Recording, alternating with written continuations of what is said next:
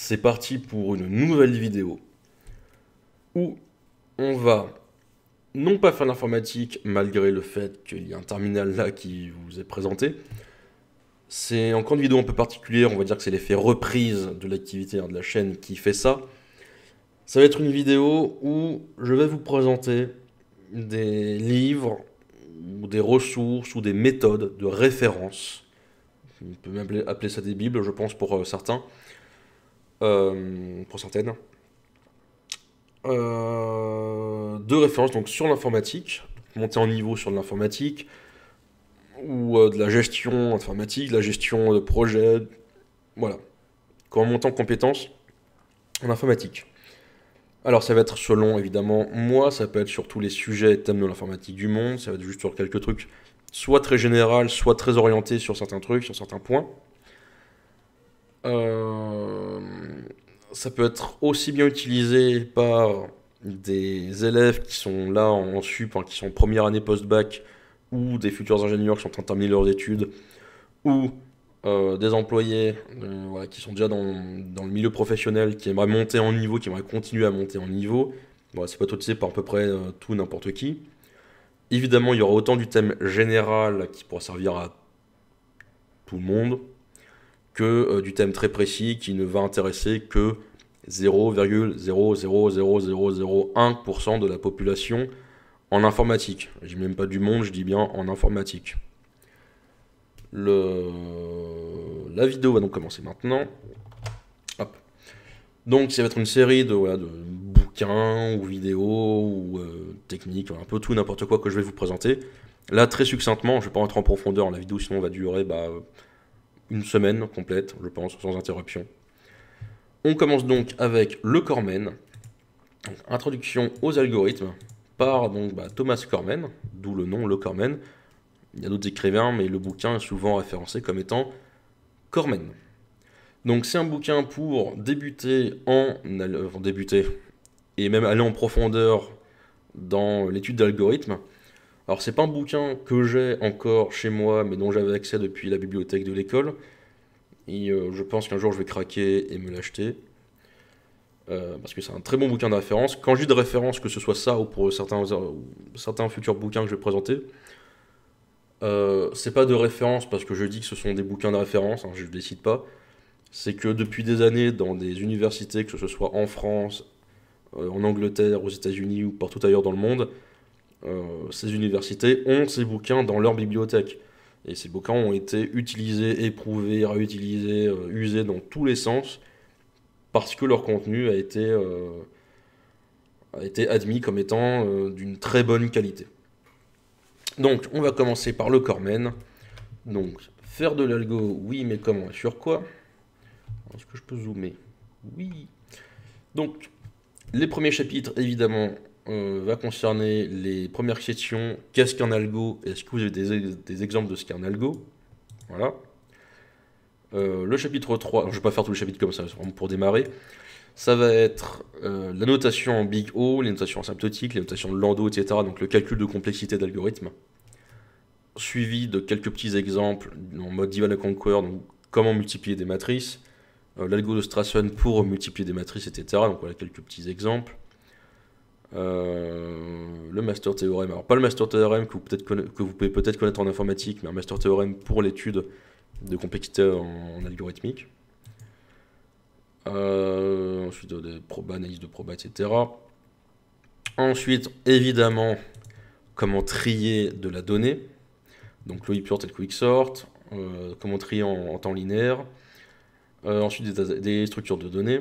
Donc, les trucs simples, hein, les chaînes de les listes chaînées, euh, les tableaux, etc. Ensuite les dash tables, des arbres binaires, euh, des techniques avancées en programmation, programmation dynamique, les algorithmes gloutons, etc.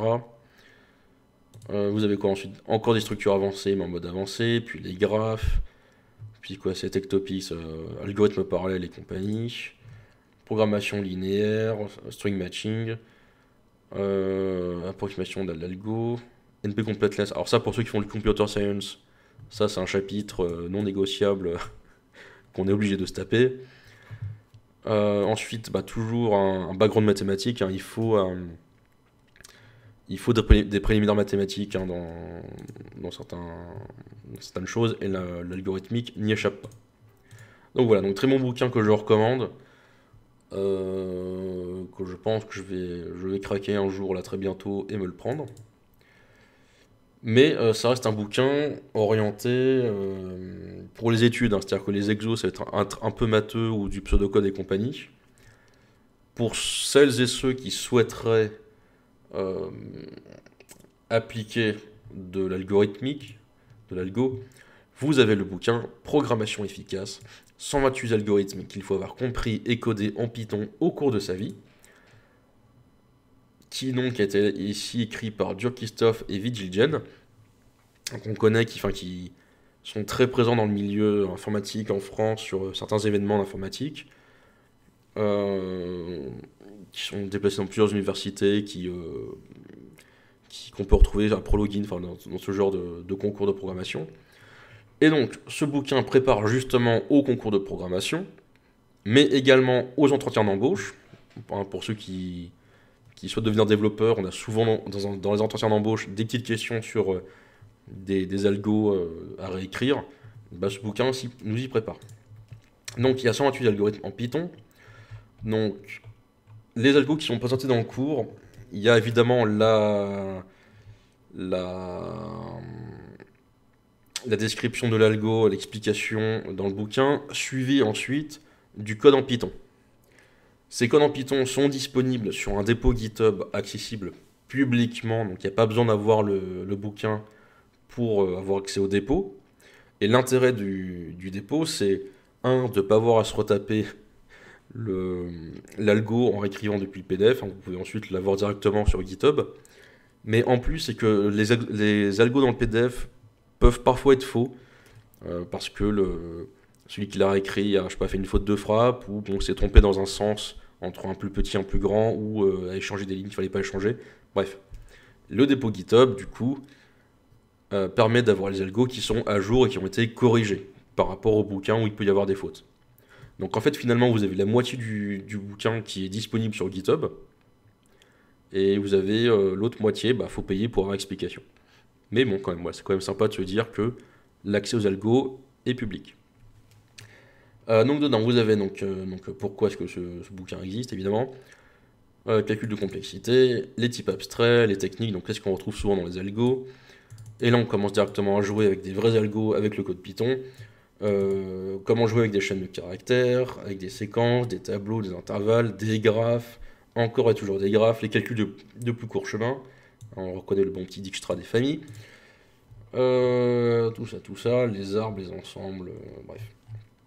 Il y a beaucoup de choses. On peut voir, il y en a qui vont reconnaître qu'il y a ici Knous qui apparaît dans, euh, dans des algos. Retenez bien le prénom, le nom de famille, c'est pas un prénom. Retenez bien le nom parce qu'il va réapparaître bientôt dans la vidéo.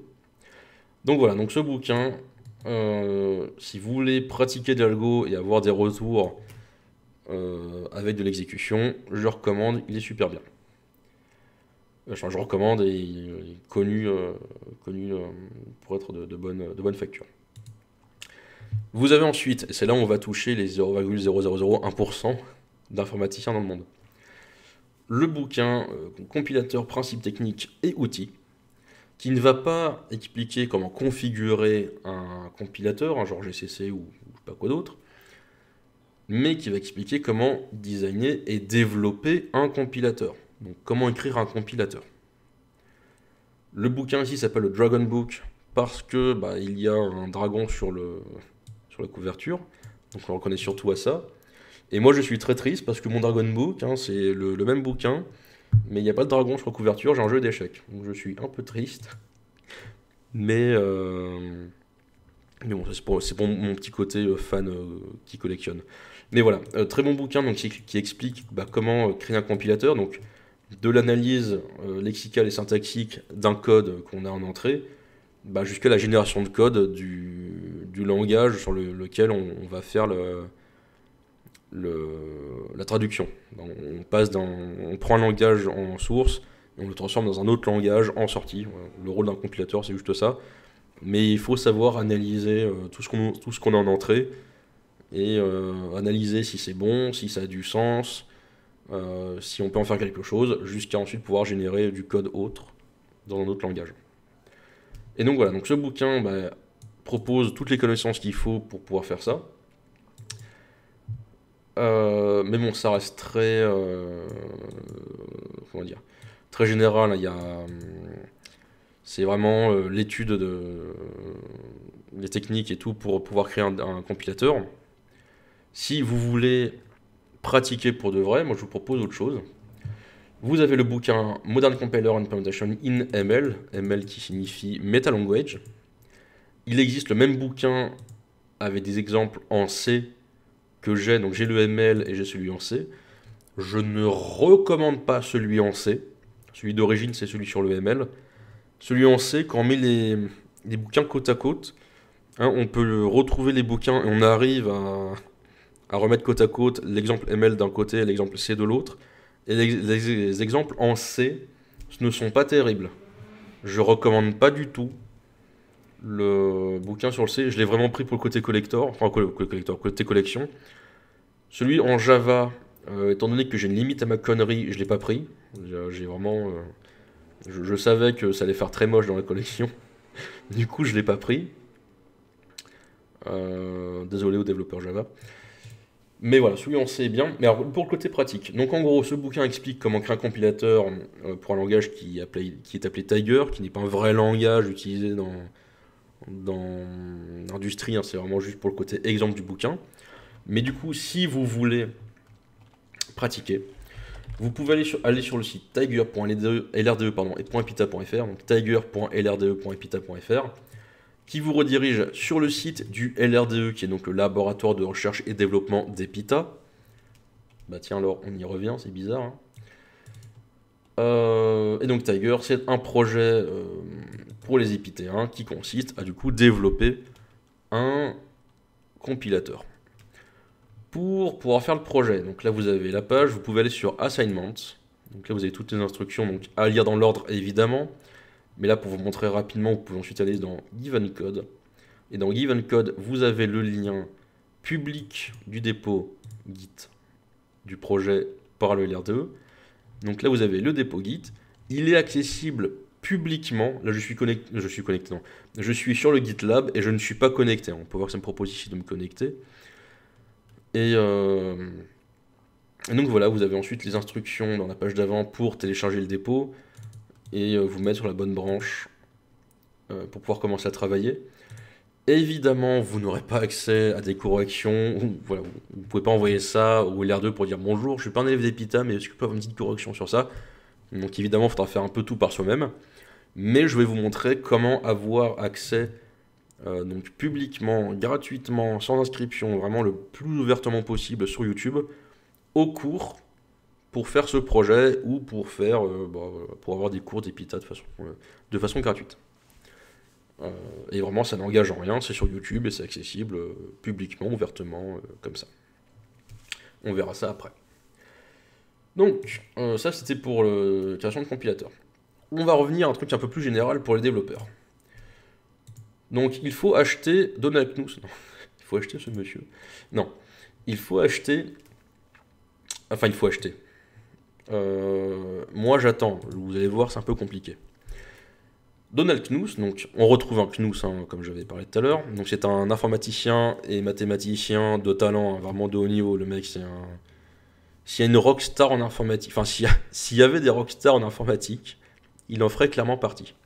Il a fait beaucoup de choses en maths, en informatique. C'est entre autres à lui qu'on doit Tech, TEX, hein, pour euh, la génération de documents, beaucoup utilisés par nos laborantins, enfin nos, laborantins, par les, les doctorants qui doivent écrire leur thèse. Bah, en sciences, c'est en général le tech qui est demandé. Et donc, il a écrit une série de bouquins, enfin, qui même est en train d'écrire une série de bouquins, qui se nomme le TAOCP, The Art of Computer Programming. Le volume 1, le volume 1 édition 1, parce que là c'est la troisième édition en 97. Le volume 1 édition 1 est sorti en 68, ça date un peu quand même. Euh, le volume 2, euh, bah, sorti peu après, j'ai plus la date. Et volume 3, etc. Alors sur la partie anglaise de la page, voilà, on peut voir ici euh, tout ce qui est attendu, donc ce qui est déjà sorti. c'est le volume 1, le 2, 3 et le 4, mais fascicule A. Donc on peut voir les titres. Le volume 1, donc, je ne les ai pas encore achetés, je vais attendre encore un peu. Parce qu'il est encore planifié de sortir le volume 4, fascicule B, C et peut-être D. Les ont noté D, mais je crois qu'il est, il est peut-être euh, en sortie, à sortir.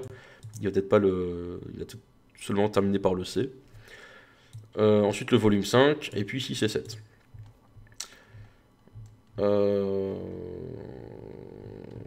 Donc on peut voir que tout est fait en chapitres. Hein. Si je vais dans le volume, là par exemple 5, on peut voir que ça commence par chapitre 9 et 10, mais parce que le chapitre 8 est contenu dans le, volume 4, et que euh, le, chapitre, le chapitre 7, mais le, chapitre 7, le volume 4, chapitre 7, le chapitre 6, etc., est contenu dans le volume 3, donc en fait, c'est une suite de chapitres, mais euh, séparés en plusieurs volumes. Donc volume 6, il n'y aura pas de chapitre 1, il y aura euh, chapitre 11, j'imagine, un truc comme ça. Et donc, bah, cet ensemble, cette série de bouquins euh, montre l'art de la programmation, mais avec une telle élégance, un tel niveau de compréhension, de clarté, je trouve ça incroyable. Le problème du coup, c'est que, euh, donc c'est là vous êtes en train de réaliser que ça fait depuis 68 que le bouquin est sorti, qu'il a toujours pas terminé de l'écrire. Et le truc, c'est que Knous, euh, je vais revenir en arrière. Knous, il commence à avoir un certain âge. Là, il est entré dans ce qu'on pourrait appeler euh, le, la l'adolescence tardive, euh, hein, bientôt, bientôt la vieillesse, mais euh, bientôt, bientôt adulte. Et j'aimerais, on aimerait bien qu'il termine cette série de bouquins qu'il soit un peu, un peu trop adulte. Donc je ne sais pas comment ça va se terminer cette histoire. Mais euh, le fait est que j'ai pu mettre un œil sur le volume 1 c'est plein d'exercices un peu matheux et puis ensuite qui vont euh, sur, euh, du code. Et ce qu'il a fait, c'est qu'il a créé une sorte de pseudo-code, pseudo-langage de programmation, c'est une sorte de pseudo-assembleur euh, pour du coup rester loin ne pas avoir, ne de choix de religion en, quel langage assembleur, si on apprend de l'Intel, de l'AMD ou, ou d'autres choses, ou de. Comment s'appelle ARM. Euh, bref. Ne pas avoir choisir un, framework, un, truc existant pour faire l'assembleur. Voilà, il a créé son propre assembleur qui est neutre, du coup, euh, qui est juste sur format papier. Et euh, voilà, qui sert comme ça à faire la programmation, mais vraiment, mais vraiment en débutant depuis des trucs très basiques et en montant petit à petit en complexité. Mais le mec étant un informaticien et un mathématicien de génie, nous sort des bouquins qui sont, je trouve, mais vraiment incroyables à lire. J'ai pas trouvé malheureusement, euh, enfin, malheureusement pas trouvé de PDF pour euh, vous montrer des exemples. Ou à chaque fois que je trouvais un PDF, plutôt disons que c'était le, c'est pas un PDF que je peux montrer, euh, que je peux me permettre de vous montrer sans être, sans être étiqueté de pirate. Donc je vous laisse faire vos propres recherches. Mais le jour où il sort enfin tous ses bouquins, ou que malheureusement il devient euh, un peu trop vieux pour pouvoir continuer à les écrire, et que voilà, on apprend que voilà la série de bouquins officiels TAOCP, même si je dois bouffer des pâtes et des nouilles pendant un certain temps parce que ça coûtait un certain prix, je boufferai des pâtes et des nouilles pendant un certain temps parce que ça coûté un certain prix. Mais j'ai envie de parcourir ces bouquins et de, les comprendre et pouvoir ensuite les, bah, les utiliser. Euh, que ce soit pour moi, pour des projets ou pour les cours. Enfin voilà. C'est euh, vraiment quelque chose que j'aimerais voir et pouvoir lire. donc le TOCP, euh, si c'est pas au moins pour les acheter parce qu'ils sont pas encore terminés, ce que je comprends, au moins jeter un coup d'œil de temps en temps, voir, voir ce qu'il en est, etc. Mais bon, c'est pas avant plusieurs années, on est d'accord. donc voilà, à voir quoi ressemble la série de bouquins, on voit que ça prend déjà pas mal de place, alors qu'il y a à peine la moitié qui a été écrite. C'est assez ouf. Vous avez ensuite le, mythe de, du moi homme. De, de le moi du moi homme. Du moi homme. Euh, oui, Man Mons, donc moi homme évidemment. Donc le, le mythe du, du moi homme. Là, c'est un bouquin donc, par Fred Brooks qui est un bouquin sur euh, le projet, la gestion de, de projets informatiques, le management de projet qui en gros à, l'époque, parce qu'il est quand même sorti en 75, mais qui à l'époque euh, donnait des conseils pour gérer des projets en informatique, ou comment éviter de faire certaines erreurs. C'est dans ce genre de bouquin voilà, qu'on apprenait que les chefs d'entreprise ou de projet, enfin les mauvais chefs de projet, euh, avaient tendance à se dire bah, plus je vais mettre d'hommes, de ressources sur un projet, et plus vite le projet ira. Ce qu'on appelle le, TGM, le taux, journalier. Euh, euh, super, j'ai oublié le, terme. Moyen, c'est ça. Donc, euh, en gros, sans se dire, bah, si. Non, c'est pas ça. Si un homme vaut 200 euros pour un projet, combien est-ce que je peux me permettre. Enfin, 200 euros par jour hein, un projet, combien est-ce que je peux me permettre d'en avoir? Euh, je peux mettre jusqu'à 1200 euros par, euh, par jour. Bon bah super, je vais prendre 6 hommes. Et le projet ira donc 6 fois plus vite que si un homme était seul. Et ça me coûtera que temps. Bon, le fait est que le, côté taux, on s'en fiche. Le fait est que certains chefs d'entreprise ou mauvais chefs de projet pensaient que plus on mettait de personnes sur un projet et plus vite ça irait. Malheureusement, c'est faux. Euh, il y a plusieurs techniques pour pouvoir réaliser un projet à plusieurs, mais ce n'est pas en mettant le plus d'hommes possible sur le coup que le projet va se réaliser le plus vite possible. C'est d'ailleurs de ce bouquin qu'on peut lire euh, cette phrase. Euh, si une femme met 9 mois à mettre au monde un enfant, alors 9 femmes mettront un mois à mettre au monde un enfant. Bon, évidemment, c'était histoire d'être un peu de faire une, une, histoire un peu satirique sur euh, les chefs de projet, enfin les mauvais chefs de projet. Mais voilà, donc ce bouquin donne beaucoup d'idées pour pouvoir effectuer un projet en informatique consciencieusement dans les règles de l'art et que tout se passe bien, un peu les best practices pour faire du projet à plusieurs. Et euh, là, pareil, pour l'avoir lu, euh, très simple à lire et, euh, et permet de mieux, mieux se préparer à faire du projet de groupe. Dans la suite, justement, pendant de, travail, il existe par Cal Newport, qui est un professeur agrégé en informatique, le livre Deep Work qui euh, apprend, donc euh, là pareil je l'ai lu, il est très simple à lire, super efficace, il met un peu de temps à démarrer. Au début c'est avec l'exemple de quelques personnalités euh, historiques sur apprendre à se concentrer sur son travail. Comment ignorer les distractions autour de nous et comment se concentrer sur notre travail. Donc plusieurs techniques. Donc comme je disais, le bouquin au début met un peu de temps à démarrer on a euh, des personnalités voilà, qui sont présentées, qui avaient quelques, quelques moyens un peu loufoques de se mettre en condition de travail, mais qui voilà, pourtant arrivaient à produire euh, du travail super efficacement au jour le jour. Et donc, au début, le bouquin, c'est vraiment un côté historique, et après, il nous donne vraiment, du coup, des euh, exemples concrets, des exemples pour pouvoir travailler de façon ultra efficace. Euh, donc là, pareil, je l'ai lu, il est super euh, fluide à lire, il est vraiment limpide, ça se lit super bien. Et si vous voulez bah, apprendre à mieux travailler, si vous sentez que vous êtes souvent distrait parce qu'autour de vous il y a du bruit machin, ce bouquin vous permet d'avoir de, de, bons réflexes pour pouvoir travailler dans des meilleures conditions. Prochain bouquin, alors ça c'est vraiment juste pour la blague, hein. The C Programming Language écrit par Cunningham et Ritchie. Donc Ritchie, développeur, euh, développeur créateur du, du langage C. Euh, c'est pour la blague, hein, c'est vraiment pour le côté euh, collection, livre de collection, parce que le bouquin se fait quand même un peu vieux.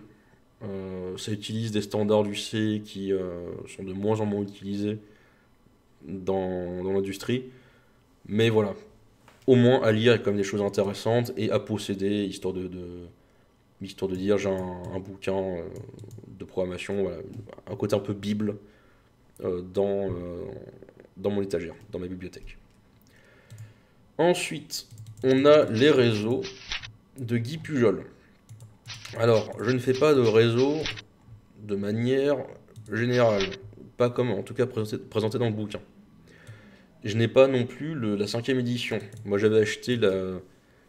C'était par mon prof de réseau en 2009, donc ça date un peu. Ah ouais, ça date. Euh, c'était pas la cinquième édition, c'était euh, une autre édition un peu plus ancienne. qui présentait les réseaux dans l'industrie, dans les entreprises, mais aussi le réseau en profondeur, comment ça fonctionne au niveau physique, etc. Euh, donc là, on peut voir la table de matière pour la cinquième édition qui va jusqu'à la 5G, donc qui présente beaucoup de notions, dont, la 5G, comment fonctionne la 5G. Euh, donc on retrouve évidemment l'architecture OSI, TCP/IP, les réseaux d'informatique par paquet, comment ça fonctionne avec les paquets, euh, les transferts et compagnie. comment ça fonctionne au niveau physique, donc au niveau vraiment électricité, le, la passation d'informations des normes un peu dans tous les sens, des trames, comment fonctionnent les paquets, qu'est-ce qu'un message. Euh, on peut voir aussi les réseaux hertziens sans fil. Euh, je crois qu'il y a même ah, satellite, donc DSL et compagnie, des accès radio satellites, euh, les, réseaux satellites et par radio, les réseaux optiques, comment fonctionne la la couche civique, la couche physique, etc. Donc il y a beaucoup beaucoup de choses. Et donc ça, c'est le genre de bouquin. Euh, donc, on voit en profondeur comment ça fonctionne en termes de physique, et puis on remonte les réseaux d'entreprise, comment ça fonctionne en termes d'entreprise. Donc c'est vraiment, euh, ça va sur toutes les couches possibles euh, sur l'industrie. Donc comment fonctionne le réseau dans l'industrie, que ce soit aussi bien niveau physique qu'en remontant au niveau entreprise. Et euh, là, pareil, euh, si vous voulez devenir administrateur réseau, expert réseau, ingénieur réseau, architecte réseau, n'importe quoi avec le mot réseau derrière, je pense que ce bouquin fait partie des, des must-have. Je le mets, je ne vais pas faire de réseau, je pense, sur la chaîne, ou en tout cas, euh, vraiment de façon très occasionnelle. Mais voilà, j'ai le. Je sais la troisième ou quatrième édition, j'ai une édition que j'ai eu en 2009. Le bouquin faisait déjà 1000 pages d'origine. Euh, en gros, si je l'ai sur moi, si quelqu'un m'embête, un, coup de bouquin dans, les gueules et je pense que le mec euh, s'effondre par terre assez rapidement. Donc euh, beaucoup de connaissances, hein, il est très lourd de connaissances, il y a beaucoup d'encre hein, dedans. Ce qui fait qu'il est assez lourd, mais si on s'y met bien, on peut apprendre beaucoup de choses dans le, dans le réseau. Ensuite, alors là ça va être assez drôle. Vous avez, je vais vous montrer un exemple, et forcément, je commence pas avec la page que je voulais. Où j'ai préparé comme vite fait la vidéo cette fois-ci. Donc vous avez sur le site Humble Bundle. C'est un site qui vend des bundles. Des bundles de quoi? Des bundles de jeux, de livres et de logiciels. Ce qui va nous intéresser, ce sont, ce sont les livres. Donc là, on sort du format livre physique, on va partir dans le PDF, le euh, PRC, le mobile, l'EPUB, enfin voilà, tous ces formats numériques. Vous avez ici dans les bouquins euh, un truc sur le heavy metal, pourquoi pas, sur les Transformers, sur du comique, euh, science-fiction, euh, comment faire du jardinage, les meilleurs trips dans le monde, un truc sur le Japon, etc. Mais vous avez aussi des bouquins, des bundles sur l'informatique. Là, mettons que je prenne Mastery Microsoft Développement.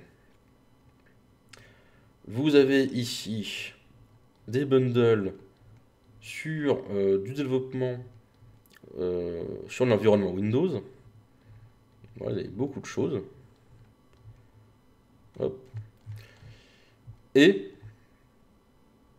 il y a du quantum. Oh là là. Microsoft qui est vraiment du quantique. C'est intéressant ça. Euh, donc, et donc vous avez accès à ces 26 PDF pour la modique somme de 16,53€. Sachant que si vous achetez ces œuvres séparément, euh, vous en aurez pour 1374 euros. Alors, on peut voir ici plusieurs choses. L'éditeur, la, maison d'édition et Apress. Mais on retrouve aussi du O'Reilly, euh, du euh, Chrome, euh, on peut retrouver après. Bref. Vous avez plusieurs maisons, d'édition reconnues hein, pour faire des bouquins d'informatique de, de, bonne qualité. Et donc là, c'est Apress qui propose 26 articles pour 16 euros par le site Dumble Bundle. On peut voir qu'on peut choisir ici des sommes. Donc, si je mets en euros, j'ai accès à 4 articles. Si je mets 9 euros, j'ai accès à 14 articles. Si j'en mets donc 16,53, j'ai accès à tous les articles. Et après, je peux mettre plus d'argent. Je peux mettre même un montant spécialisé. Euh, on peut voir ensuite que je peux ajuster les dons. Parce qu'en fait, tout l'argent qu'on va donner va être... Euh, enfin, tout l'argent qu'on va donner par la vente va ensuite être redistribué à plusieurs institutions. Par exemple, Euh, je peux redistribuer donc avec le montant spécialisé. Sinon, il y a des trucs par défaut. Mais le montant personnalisé permet de, de donner plus ou moins à la maison d'édition, donc la presse, permet de donner plus ou moins aux œuvres caritatives, euh, parce que du coup, il y a des œuvres caritatives qui vont profiter de, l'argent par la vente. Ou alors Humble, pareil. Humble, donc c'est le site qui détient ça. On peut voir qu'on peut pas aller à zéro par contre. Hein. Eux, ils sont mis un, eux, sont mis un petit cachet minimal. Mais voilà, comme c'est eux qui détiennent le site, qui font vivre le site, etc. Pour faire vivre les gens qui sont derrière le site, le, la maintenance des serveurs, enfin tout ce qui tourne autour du site Humble Bundle, je comprends qu'ils aient besoin d'un apport financier pour, pour, que tout tienne. Et donc les offres caritatives, on peut voir que ça va ici aider World Central Kitchen et Save the Children. Et là, pareil, on peut s'amuser à euh, modifier un peu comme on veut le, don. Pour les offres caritatives, il y a à peu près tout et n'importe quoi. Donc là, c'est World Central Kitchen et Save the Children. Mais il y a des dizaines d'offres caritatives qui, euh, qui, qui sont référencées sur le site. On peut par exemple citer les plus connus, euh, donc Action contre la faim, Médecins sans frontières, la Croix-Rouge, euh, la recherche contre, le cancer, etc. Charity Water, donc c'est de, l'accès, aider l'accès à l'eau dans, des pays ou des, zones où l'accès à l'eau est un peu compliqué. Les, enfants qui sont hospitalisés ou aider euh, les enfants qui ont des problèmes euh, familiaux ou euh, dans les écoles, voilà, un peu tout n'importe quoi. Donc après à vous de regarder quelles sont les œuvres caritatives, comment est-ce que vous voulez donner. Et donc bah, tous les lundis ou mardis, enfin c'est en début de semaine, il y a toujours un bundle de bouquins qui sort, en général sur de l'informatique. Et vous avez un certain temps pour faire ça. Donc là, l'offre prend fin dans un jour, 23h19 minutes. En général, ça tient deux semaines, je crois. Et donc, bah, vous pouvez comme ça accéder à plusieurs PDF. Mais à quoi ça ressemble? Alors, on peut voir ici, je vais zoomer, les produits que j'ai achetés. Non, j'ai aussi bien acheté des... J'ai surtout acheté des bouquins, un peu logiciel vite fait, mais surtout des bouquins. Euh, donc, faire de l'Arduino, faire de la programmation, de la cybersécurité, des mathématiques appliquées, euh, du hacking. Euh, C'était un logiciel pour faire des cartes. Euh, pour faire du Raspberry Pi, du hardware, du coding, du, développement, l'infrastructure, faire du DevOps, euh, encore du DevOps, de l'Unix et du Linux, et j'ai ça sur quelques pages. Donc j'ai pas mal de PDF. Quand je vous disais dans la vidéo de reprise 2022, j'adore me bouffer du PDF et des livres, c'est que je décode pas, j'adore me bouffer du PDF et des livres. Et donc ensuite, à quoi ça ressemble? Alors je sais pas, mettons que je prenne euh, le DevOps. Voilà, au hasard. Alors le lien qui est là pour les, petits malins, vous pouvez euh, tenter de le recopier. Le fait est que tant que vous n'êtes pas connecté sur mon compte, vous n'avez pas accès à ma bibliothèque. Bref. Euh, donc on peut voir ici que j'ai accès à du PDF ou de l'EPUB. Il y a des suppléments, donc ça ça va être des liens pour, euh, pour les suppléments du bouquin, donc que ce soit des zips avec du code ou des vidéos, n'importe quoi. Euh, alors parfois il y a des vidéos qui sont proposées aussi en bas, mais bon, pas là. Donc on peut voir ici euh, qu'il y a du PDF, il il y a des bouquins, donc sur, je sais pas si c'est Kubernetes ou Kubernetes, mais bon. Ou le cloud, ou du DevOps, enfin on a faire du DevOps, encore du DevOps, machin machin, donc il y a un peu de tout. Donc j'ai accès au PDF, au EPUB, ou du Mobi, parfois du PRC. Il y a plusieurs formats, mais il y a au moins toujours le PDF. Et donc, pas comme ça, je peux faire un peu ce que je veux. Ça, c'était quoi? Ah oui. Et sinon, j'ai une bibliothèque où je peux retrouver comme ça mes e-books. Et par exemple, ici, je peux, je peux chercher euh, Kali. Voilà. Et là, j'ai tous mes PDF qui concernent du Kali. Ou euh, je, pas, je peux chercher euh, maths. Et là, j'ai tous mes PDF qui concernent des mathématiques. Euh, je sais pas qu'est-ce que je peux chercher encore. Euh, programming. Et là, j'ai accès à tous les PDF qui concernent la programmation, que ce soit de l'assembly, euh, du C++, du Java, du Python, du R, du C, enfin, voilà. j'ai à peu près tout et n'importe quoi. Et donc, bah, je m'amuse à lire pas mal de PDF. Alors évidemment, heureusement que c'est en PDF, parce que si j'avais vraiment tous ces bouquins chez moi, je pense qu'il me faudrait quelques pièces pour tout ce que j'ai. Et euh, puis voilà. Donc mon but justement, c'est d'emmagasiner le plus d'informations possible, qui m'intéressent évidemment, que je peux ensuite utiliser pour des projets perso, ou au travail, ou pour les cours, enfin voilà.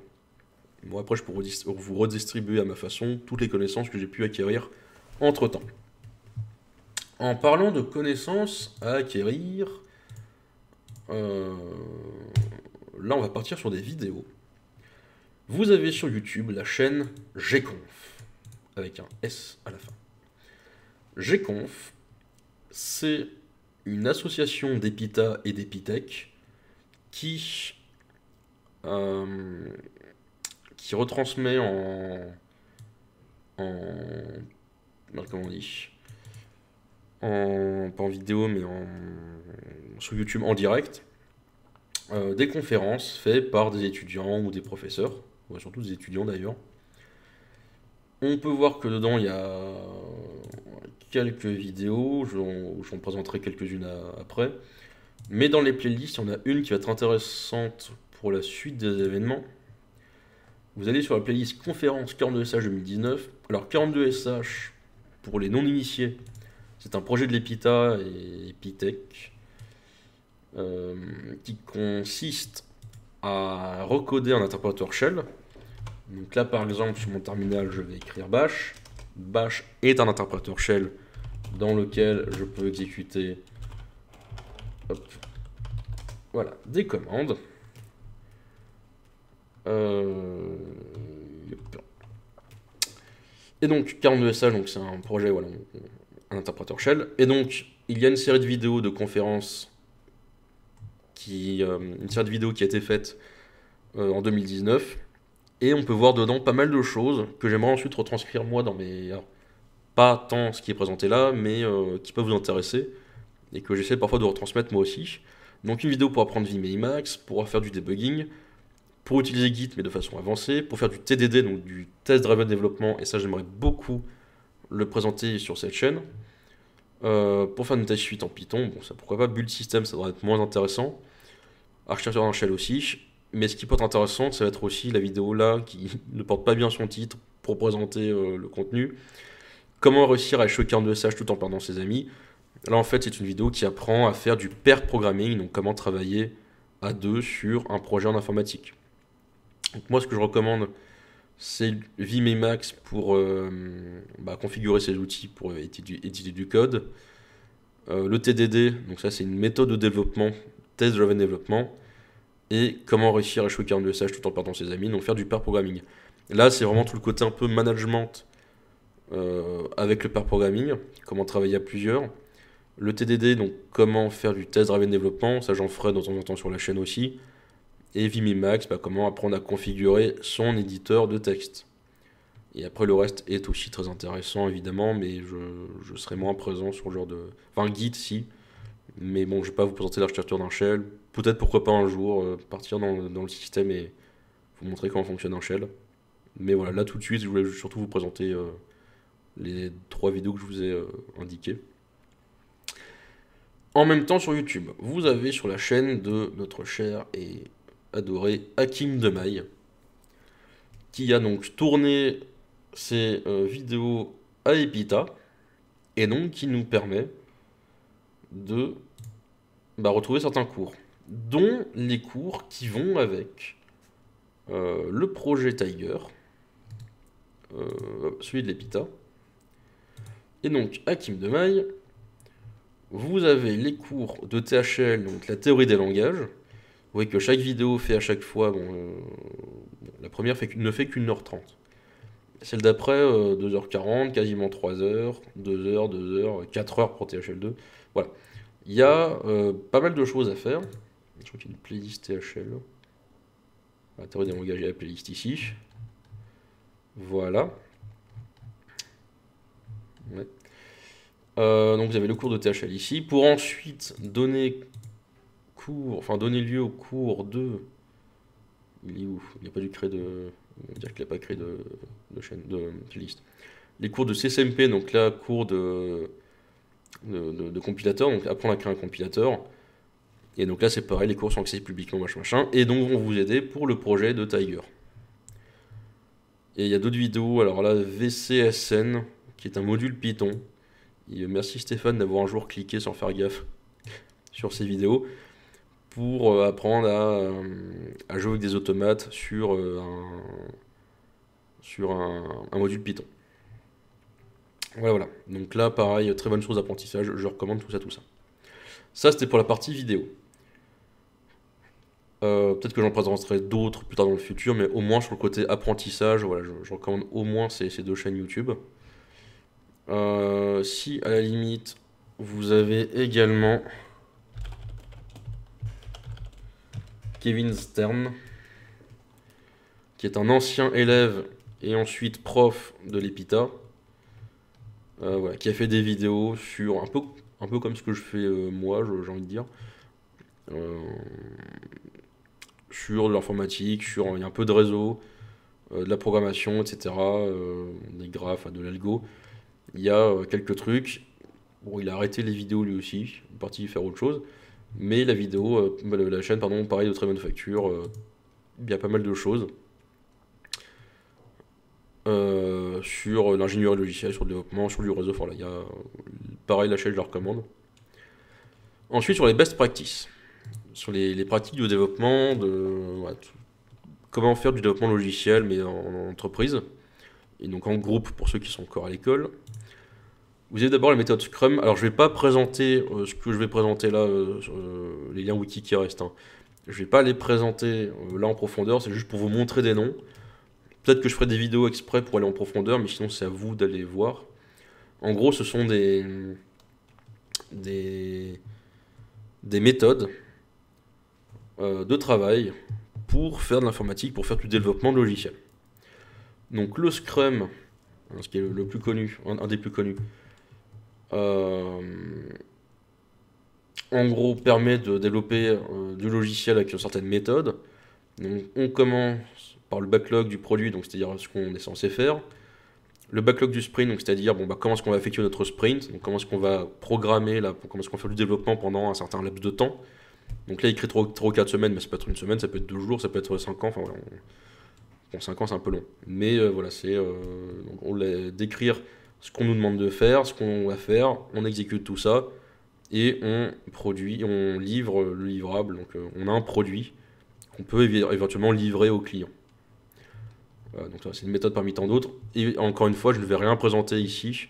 Je pour vous montrer quelques noms que je vous invite à lire pour euh, devenir un peu meilleur sur euh, la production de produits, la production en développement logiciel. Vous avez ensuite le Extreme Programming. Euh, là, pareil, c'est une méthode de développement. méthode agile, on verra après l'agilité. Euh, ça va arriver évidemment après l'agile. Euh, et donc là, ça va être des méthodes de développement, mais plus liées aux, développeurs, à l'humain qui développe de, façon générale, que le côté groupe. Quoique aussi, il y a aussi la gestion de, de projet dedans. Et donc, bah, qu'est-ce qu'un cycle? On peut voir ici ce qu'est un cycle de, extreme programming. Euh, à quoi ça sert, quels sont les points qui sont intéressants, etc.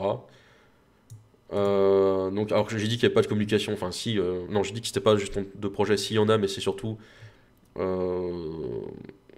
c'est surtout tout ce qui concerne le, lien entre le développeur et le client. Et donc, bah, plein de petits points, plein de petites méthodes pour monter en niveau sur la programmation de manière générale, mais surtout sur la programmation en génie logiciel. On retrouve d'ailleurs ici bah, le Test Driven Development, donc le fameux TDD que j'ai présenté sur la chaîne GConf. Alors je vais juste cliquer là, histoire de dire ce, cette page Wikipédia existe, il faut la lire. Le TDD, bah, c'est pareil.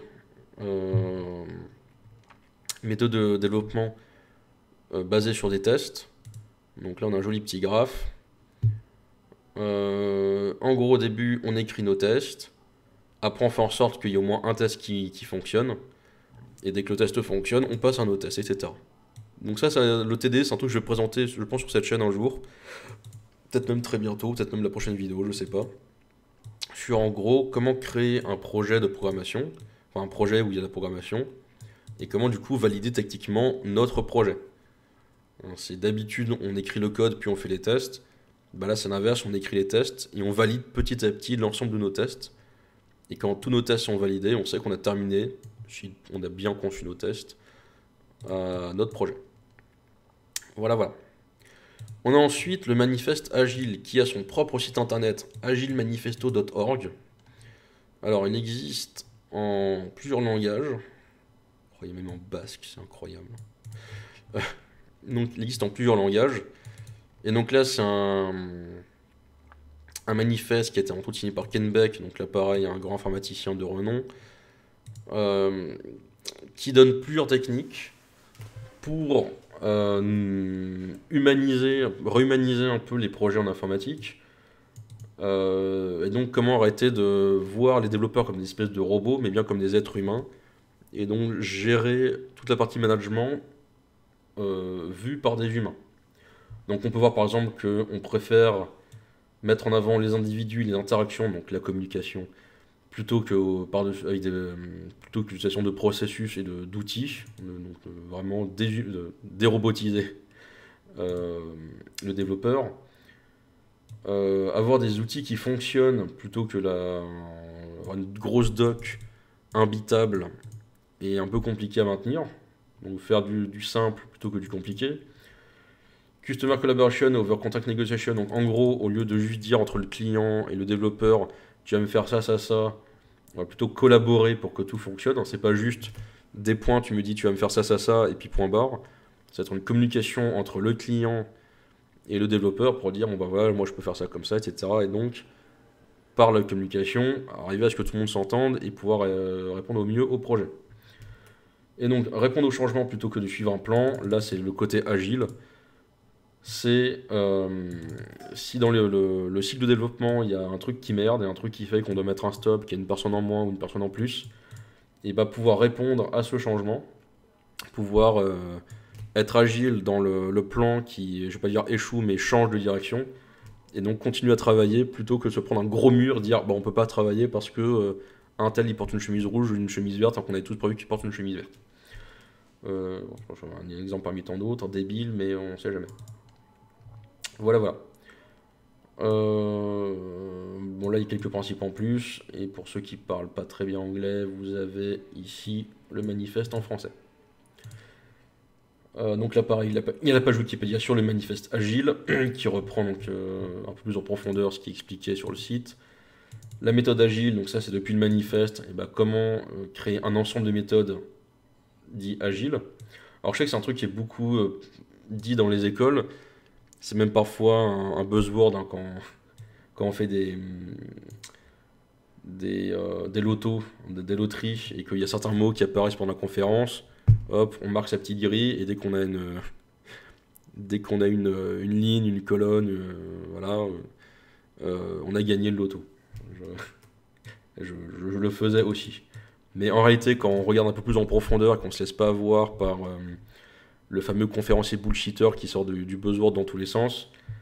Euh, finalement, la méthode, cet ensemble de, de, méthodes de travail est très intéressante à utiliser. Le fait qu'elle soit agile d'ailleurs, c'est pas mal parce qu'il y a plusieurs points, mais après c'est à nous de, alors de s'autodiscipliner pour répondre aux points, mais a un truc qui marche pas, on est censé pouvoir euh, ne pas utiliser euh, certaines recommandations et faire en sorte que le projet fonctionne quand même mais il faut quand même un peu s'autodiscipliner. Hein. C'est pas non plus, euh, c'est pas la Zumba, c'est pas les vacances. Il faut quand même à certains, certains points. Vous avez ensuite les méthodes dites ITIL. Alors là, je sais qu'il y en a beaucoup qui sont en train de boire euh, des verres en mode Ah ouais, ITIL, ça c'est le Buzzword. Euh, on boit un shot dès qu'il y a le mot ITIL qui apparaît. ITIL, ITIL, ITIL, ITIL. Je vous souhaite un bon coma itilique. donc là, c'est pareil, c'est un ensemble de méthodes pour pouvoir bien travailler, dont euh, dont s'inspire, enfin qui, euh, est utilisé aussi dans les méthodes agiles et compagnie. Donc là, euh, il y a beaucoup à lire, mais est-il c'est pareil quand on, met en application les points qui sont donnés en entreprise, quand on travaille à plusieurs sur un projet en, informatique, ça permet à ce que tout se passe bien. Mais encore une fois, il faut un peu d'autodiscipline. Alors je sais que le fait que c'était pensé par des bouffeurs de gelée, merci Stéphane, ne nous donne pas envie à nous Français de suivre ces recommandations. Mais si les Anglais ont réussi à survivre sur leur île depuis tout ce temps, on peut se dire qu'il y a quand même quelques petits cerveaux par-ci par-là euh, qui leur permettent de survivre. Et ensuite, le dernier point que je vais présenter, c'est le software craftsmanship, ou l'artisanat logiciel, qui là est un ensemble d'ensemble de best practice. Donc en gros, on va reprendre l'extreme programming, on va reprendre le manifeste agile, on va reprendre beaucoup de ces cadres de travail. Donc voilà, on, retourne, on revoit ici l'extreme programming, on revoit du Scrum, on voit beaucoup de choses. donc en fait, je me demande s'il n'y a pas de l'utile dans le tas. Euh, Mais bon. En gros, on va reprendre tout ce que j'ai vu précédemment pour refaire une nouvelle approche, de, développement logiciel. Mais cette fois-ci, on va mettre en avant le développeur. C'est vraiment ne plus voir le développeur comme une ressource, mais voir le développeur comme un être humain avec des qualités avec des compétences. Et donc mettre en avant ses compétences. Et donc là, c'est vraiment le truc dont je m'inspire et que j'aimerais mettre en place, euh, pareil sur la chaîne petit à petit, c'est euh, ne plus développer comme un babouin. Hein, c'est-à-dire, euh, je mets un gros casque de musique et avec la grosse musique électro, je code comme un, bah, comme un singe. non, c'est vraiment reconnaître ses qualités, préparer le projet et donc utiliser ensuite nos, compétences pour développer un projet, etc. Donc là, c'est vraiment des points qui sont très intéressants et qui permettent dans l'industrie de pouvoir programmer, faire du, logiciel, du, développement de l'informatique de manière générale. Euh, c'était 52 minutes de web, finalement. Mais voilà, c'est des choses que j'ai envie de présenter et que moi, en tant que prof, je, tente parfois de, de mettre en avant dans les cours, dans les méthodes de travail. Euh, autant avec les BTS, c'est compliqué parce qu'ils sont censés juste avoir un niveau de technicien supérieur, alors qu'il y a des choses que j'ai présentées là qui sont plutôt liées à l'ingénierie. Donc il y a des trucs que je leur montre pas, où je leur dis un peu comme ça, je leur montre pour dire bon, si vous êtes un temps soit peu sérieux, euh, regardez au moins un peu, essayez de vous inspirer.